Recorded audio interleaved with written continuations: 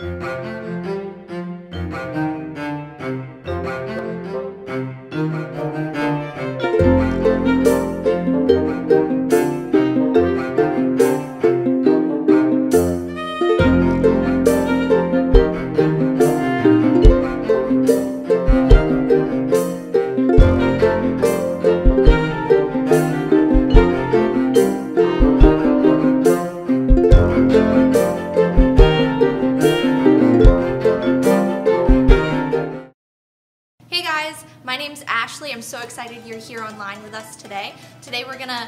worship Jesus and learn from the Bible. Um, I just want to give a shout out to Amaya from our Milton location, Cliffy from Dover, and Max from Plymouth. I'm so excited you guys are here today, and let's check out what they have in store. Hey guys, we are going to jump into an activity before worship now. So we are going to do a sort of scavenger hunt now. So I'm going to ask you to find something around your house and you'll have 10 seconds to bring it back in time. And if you bring it back in time, then you can move on to the next round with me. Does that sound like fun? All right, let's get started. The first thing I'm going to ask you to find is something green.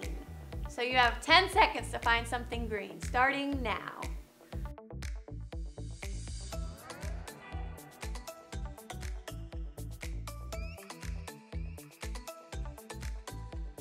All right, good job, guys. Whoever was able to grab those things in time, you can move on to the next round with me. The next round, we are going to find a shoe. You have 10 seconds to bring me a shoe, starting now.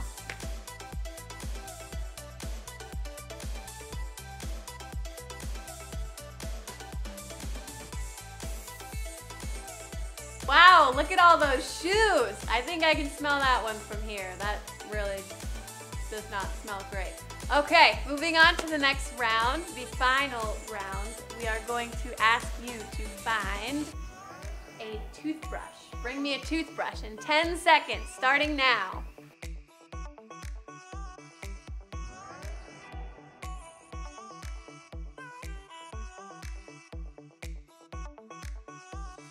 Great job finding all those items for me. Now you can just put them aside, stand up, and we're gonna get ready for worship now. So excited.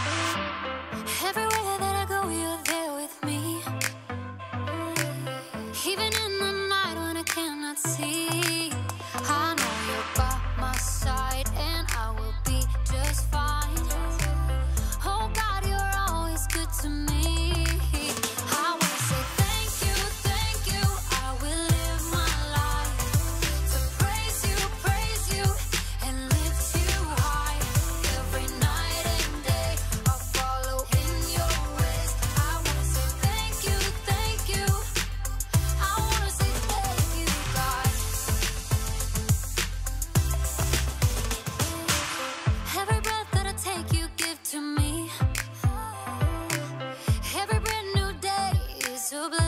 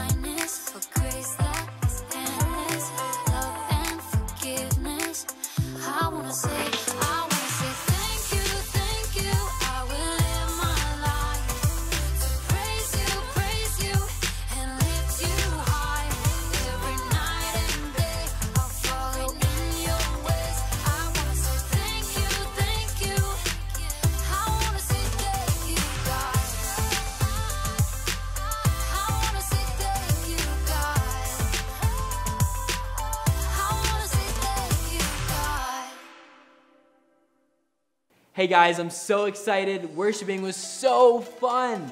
Being able to march and jump and spin. Dude, guys, I had such a blast.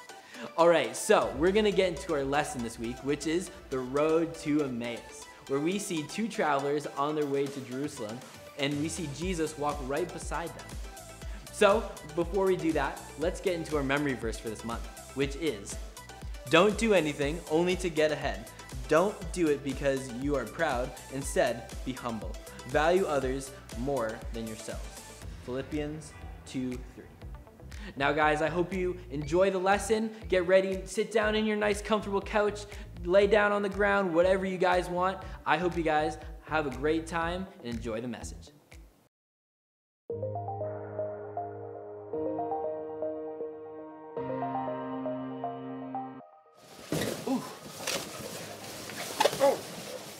Excuse me. Sorry. Oh. Hello, everybody. My name's Jacob, but my friends call me Jake. I don't know how all these balloons got here. It must just be uh, another hilarious April Fool's Month joke from my friends. and it's a good one, but I can't find anything. I mean, it took me forever just to find this camera. Hello? Camera? Where are you? I need to talk about humility. Camera? Camera! Hello? Where are you? I need to talk about humility. So, let's talk about humility. Humility is putting others first by giving up what you think you deserve. Now, what's a good way to describe humility? Okay, so let's say I was a world famous balloon maker. I could be all like, I make balloons better than anybody. I deserve the best seat in the house at the, uh, the, uh, the, the balloon convention. I deserve the best seat in the house at the balloon convention. Meh. What if I won a contest for best color box puzzle solving? I could be all like, I can cube solve faster than you. I'm smart and you're not. or I could be like, hey, if you want to know more about cube solving, I can teach you because I'm smart and also nice. Lamps or electricity. You know everything there is to know about electricity. You're like Alfred Einstein. This lamp works because of power going through the wire into the light bulb and it makes it bright and stuff. And I can control it with a switchy poo. I know everything there is to know about electricity and light and things like that. Sorry about that. That was really weird. I don't really know anything about electricity. Anyway, today's story is about these people who thought they knew everything about what God was up to, but they really had a lot more to discover. I've got a lot more to discover too. Like, where's my bed? And my TV? And my floor?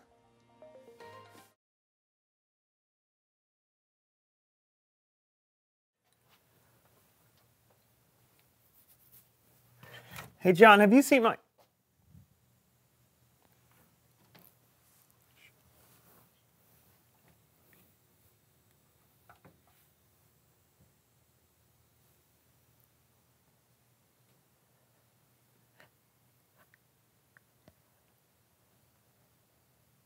Wake up, John! John, wake.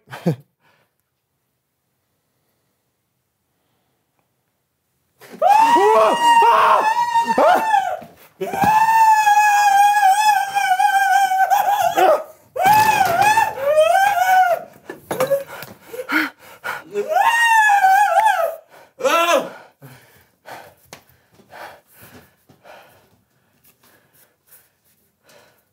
Why are your pants on your head? Why aren't your pants on your head?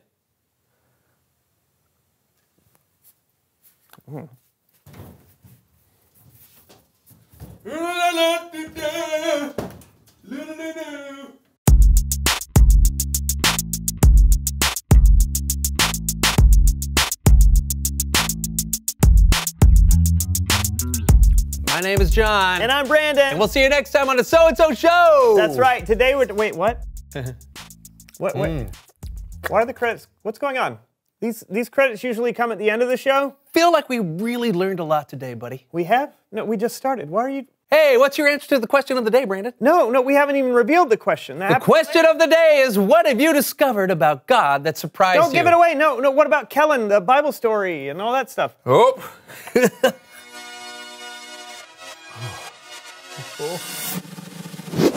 Reveal the question. What is happening, John? Everything is moving backwards. The show usually happens in the other direction. I don't know that, Brandon. But I do know this. There's nothing better than a hot and fresh apple pie. ah. Okay, I don't know how or why, but for some reason the show is upside down right now. Everything is moving backwards. See, normally we'd start the show, maybe have a guest we talk to for a while, and then someone would say, It's Bible story time with Kellen.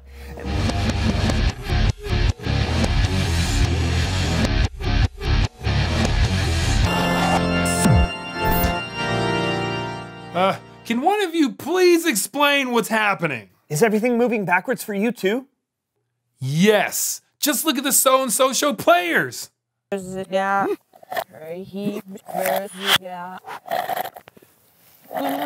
see what I mean? Oh man, it's worse than I thought. Yeah. Do, do you have any advice? No. But I do have an idea.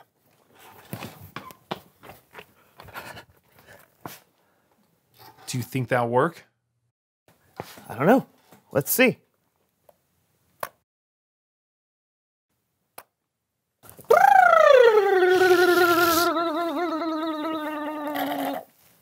It worked! Great! What's our story today, Kellen? Our story today was written down by a guy named Luke in a book we now call Luke. He wrote about two followers of Jesus who were walking on the road to a village called Emmaus. I woke up this morning and for a moment I was happy. I'd forgotten about all the things that had happened. But then I remembered. I can't believe he's gone. I, I don't even know what to do now. My whole world is turned upside down. As they were walking, a man they didn't recognize came up and walked alongside them.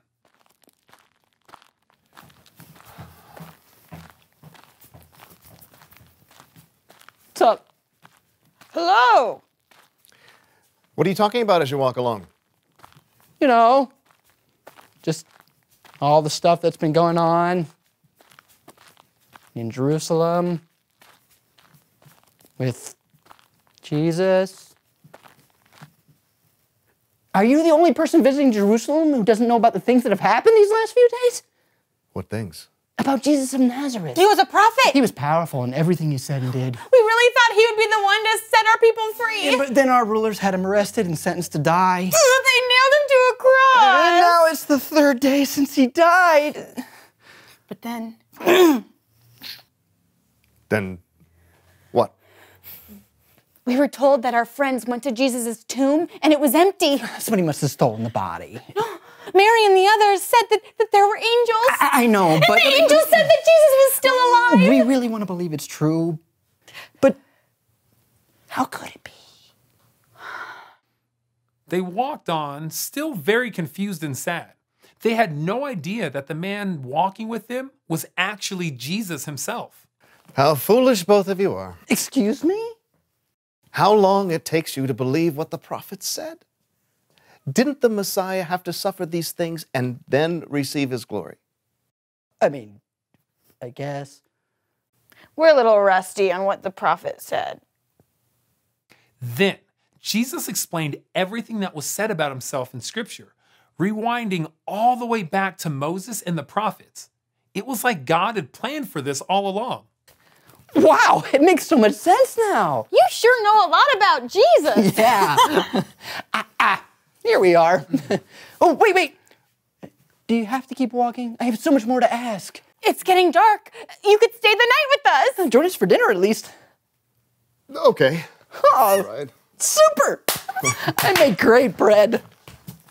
So the man they thought was a stranger, but really was Jesus, joined them for dinner.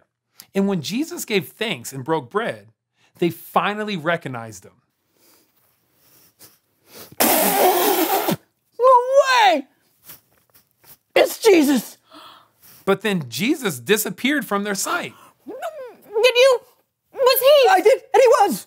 I knew there was something special about him. The way he, he taught us about the prophets and Moses, I mean, we were so excited on the Yeah, road, we weren't have, we? to, we have to go back to Jerusalem and tell everyone. They'll never believe us. We have to try. When they got to Jerusalem, they told the 11 disciples what had been hard for them to believe, but what they knew to be true, what God had known would happen all along, that Jesus had come back from the dead. He was alive. The end. Hey, great job, so and so show players. Uh, oh no, no, they're going backwards again. I couldn't resist. Cool story, Kellen. Isn't it though? Those two on the road thought they understood what was going on. Then God goes and does something completely impossible by bringing Jesus back from the dead. I always think it's surprising how God's plan works out. I know, but God plans for things like thousands of years in advance. How could we ever understand? We probably can't, but it helps to kind of rewind and see how God has made things work out in the past. That way, even if bad things happen or things we don't understand, we can trust that someone who is bigger and smarter than we are has got things under control. I wonder if God's got one of these. Hmm, probably not. Yeah. His is probably way bigger. Sure. Whoa, it's Bible story time with Kellen. Whoa, Oh, boy. now I'll leave you to Wait, it. you Bye. Wow, that's someone who knows stuff was amazing. Makes me want to bake a pie. I don't even know how to deal with you right now. Thanks for having me. Bye.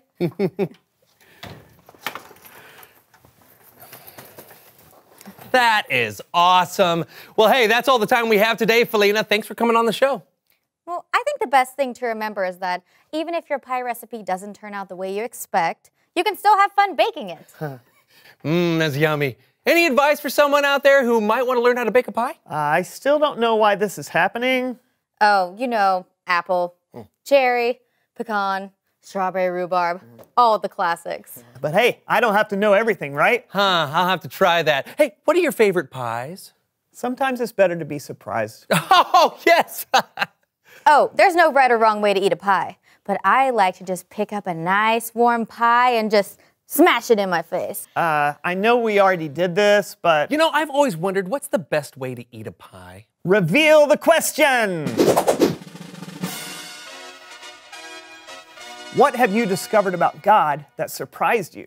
My name is Felina Tossi, and I make pies. Oh, well, welcome to the show. Who are you and what do you know? It could be something that you've read about God in the Bible, or it could be something that God has done in your own life. Welcome. Good to see you.